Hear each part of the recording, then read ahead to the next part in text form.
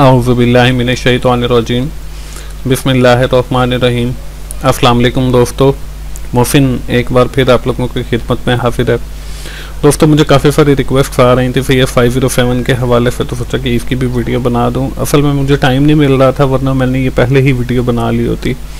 और टाइम बहुत शॉर्ट होता है, क्योंकि मेरे पास पेड स्टूडेंट्स भी हैं तो उनकी असाइनमेंट्स पहले बनाई जाती हैं और उन्हें प्रेफरेंस दी भी जानी चाहिए, क्योंकि they are paying some reward to me for preparing their assignments G T B quiz etcetera तो इसलिए मैं उनको प्रायोरिटी देता हूँ और पहले उनकी असाइनमेंट बनाता हूँ, फिर कुछ टाइम बच जाता है तो फिर मैं बाकी असाइनमेंट्स की तरफ़ देखता हूँ, फिर उसकी वीडियोस वगैरह बनाता हूँ। तो फिर भी मैंने टाइम निकाला है आप लोगों के लिए। उम्मीद है कि आप लोगों को इससे आइडिया मिल जाएगा और बाकी आप अपनी असाइनमेंट खुद बना लेंगे। दोस्तों, हमारी जो वीडियो है वो C S five zero seven information system की असाइनमेंट नंबर एक के हवाले से है।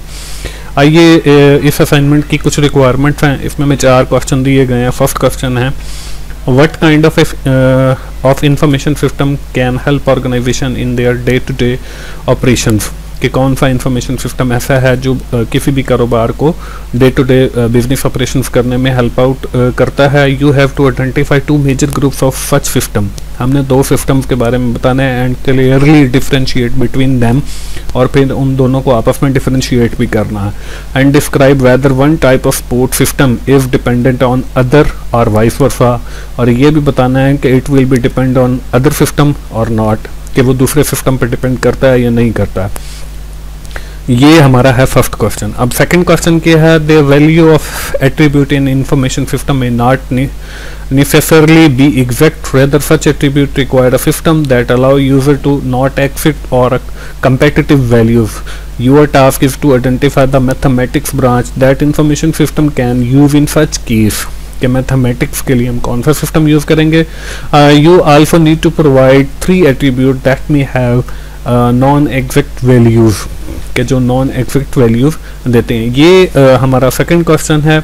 इसी तरह हमारा जो थर्ड क्वेश्चन है that is finance financial organization require transaction among its customer to be synchronize before they are committed however cost of setting up of regular security process incur a lot of operational man or cost and delayed transaction processing according to your knowledge from information system what solution do you feel that can potentially fulfill the requirement for faster transaction processing and minimum uh, operation cost हमने एक ऐसा system बताना है uh, जो हमारी transactions को जो है वो फास्टर करे और उसकी जो कॉस्ट है वो कम से कम है your answer should be include high level composition of proposed solution और हमारा जो सिस्टम है that will be composition of proposed solution high मतलब लेवल का होना चाहिए ये हमारी थर्ड रिक्वायरमेंट है फॉर दिस असाइनमेंट या थर्ड क्वेश्चन कह लें और लास्ट वाला जो क्वेश्चन है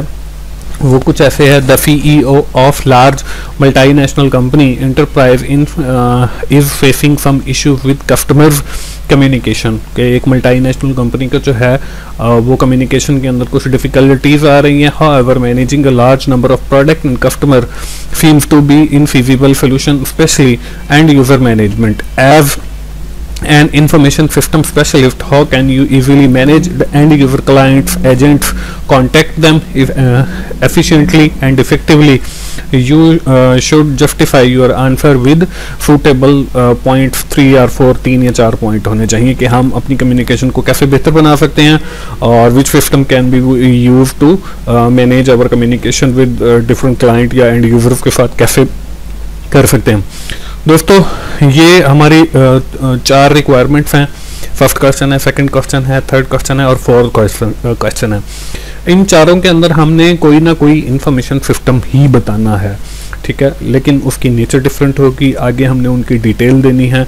आ, तो आइए इसके सोल्यूशन की तरफ़ चलते हैं। Solution number question number one का जो सोल्यूशन है there are four various information system that organisation में use to perform its day to day operation these are as follows वो कौन से हैं जी? एम आई एफ़ है मैनेजमेंट इंफॉर्मेशन सिस्टम दूसरा हमारे पास टी पी एफ़ है ट्रांजेक्शन प्रोसेसिंग सिस्टम तीसरा जो है डी एस एस है डिफिजन सपोर्ट सिस्टम और एक और है executive support system E S S भी हम इसे कह सकते हैं। और अगला जो सिस्टम है के एम एस है नॉलेज मैनेजमेंट सिस्टम और रिसेंटली जो करंटली जो ऑर्गेनाइजेशन के अंदर सबसे ज़्यादा इंफॉर्मेशन सिस्टम इस वक्त फ़ेमस है that is K M S knowledge management system on the basis of this knowledge management system companies जो है वो बहुत ज़्यादा एफर्ट कर रही हैं और आगे भी जा रही हैं। आगे है हमारे पास बी आई एस है बिज़नेस इंटेलिजेंट सिस्टम आगे लास्ट में जो है वो मैंने कस्टमर रिलेशनशिप मैनेजमेंट सिस्टम लिखा है सी आर एम एस दोस्तों आ, हमने इस क्वेश्चन नंबर वन में क्या करना है? हमने ये इन चारों सिस्टम्स में से कोई से दो सिस्टम लेने ठीक है? उसकी फिर आगे हमने डिटेल देनी है।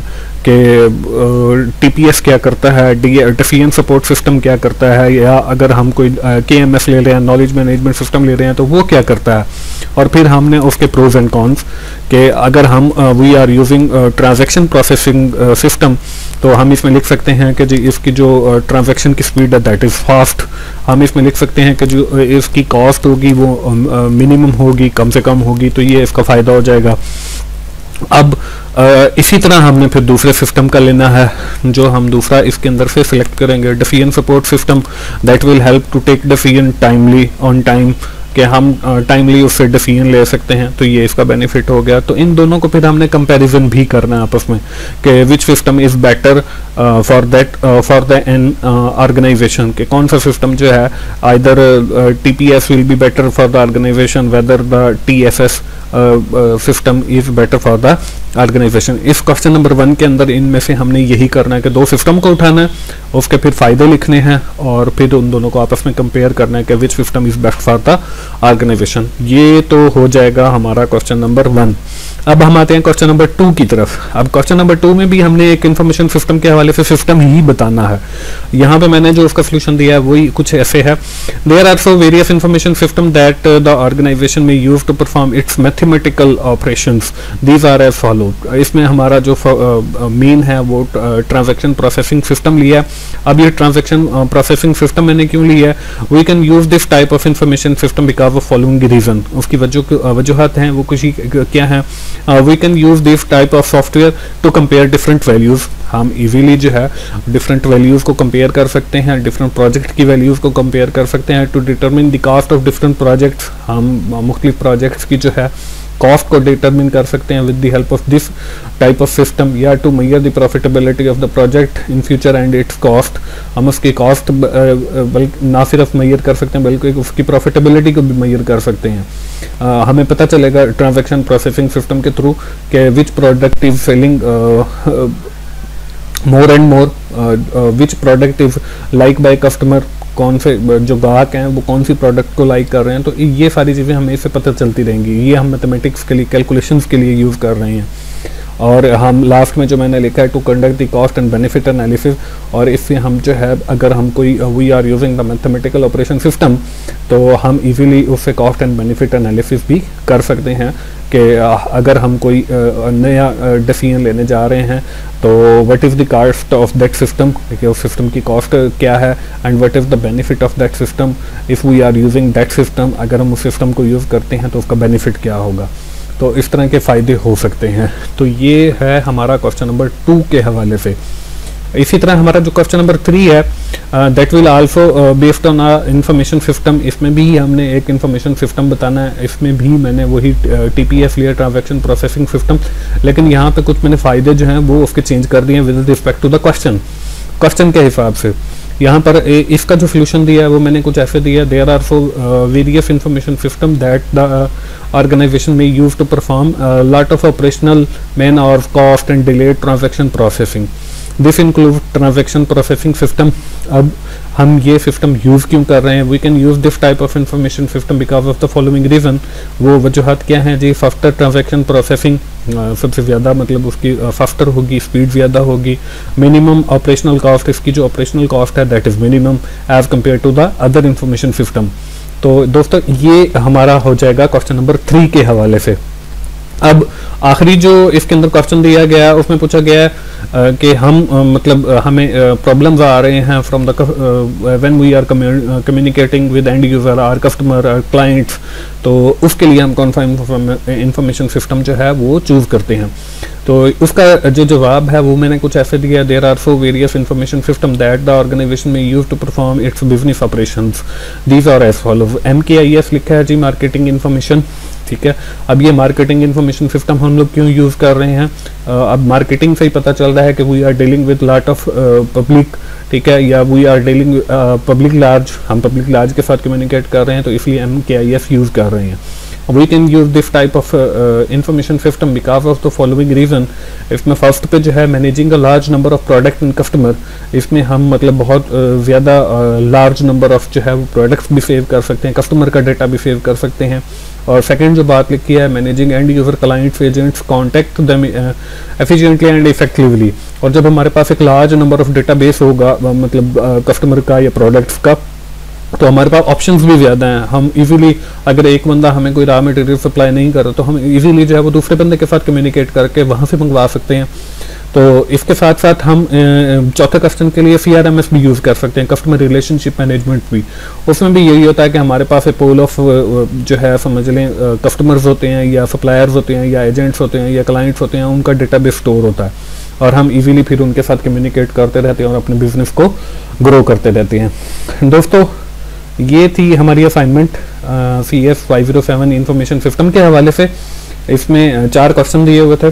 फ़र्स्ट क्वेश्चन में हमने डिफरेंट मतलब सिस्टम्स के हवाले से बताया कि कौन कौन से हो सकते हैं और कौन सा हम यूज़ कर सकते हैं। सेकंड जो क्वेश्चन था, उसमें भी हमने इंफॉर्मेशन सिस्टम बताया और मैंने जो सिलेक्ट किया that will TPS transaction processing system आप इसको रिप्लेस भी कर सकते हो with the another information system but फिर उसके अगेंस्ट जो है आपको उससे मिलते जुलते जो है नीचे पॉइंट्स भी लिखने पड़ेंगे। और क्वेश्चन नंबर जो थ्री था उसमें भी हमने uh, मतलब बताना था इंफॉर्मेशन सिस्टम के हवाले से और उसमें भी मैंने टीपीएस यूज़ किया है ट्रांजेक्शन प्रोसेसिंग सिस्टम और उसमें भी मैंने वजूहत भी दी दिए कि ये सॉफ्टवेयर है इसकी कॉस्ट कम से कम है इजीली अडॉप्ट कर सकते हैं इससे काफ़ी सारे ऑपरेशन परफॉर्म हो सकते हैं और इसी तरह जो हमारा लास्ट वाला क्वेश्चन है उसमें मैंने एम के आई एस लिया है। जी मार्केटिंग इन्फॉर्मेशन सिस्टम और उसमें भी फिर आगे मैंने उसके फ़ायदे लिए और साथ मैंने ये भी बताया कि इसके अलावा भी हम कोई और सिस्टम यूज़ कर सकते हैं, जैसे सी आर एम एस मतलब यूज़ कर सकते हैं कस्टमर रिलेशनशिप मैनेजमेंट सॉफ्टवेयर भी हम यूज़ कर सकते हैं।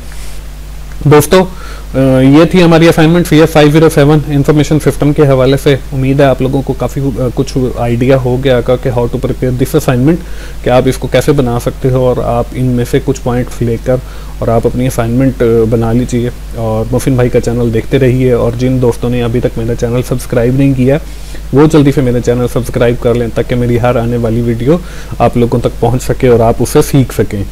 मोहसिन भाई को दुआ में याद रखें। थैंक यू वेरी मच दोस्तों। अल्लाह हाफिज़।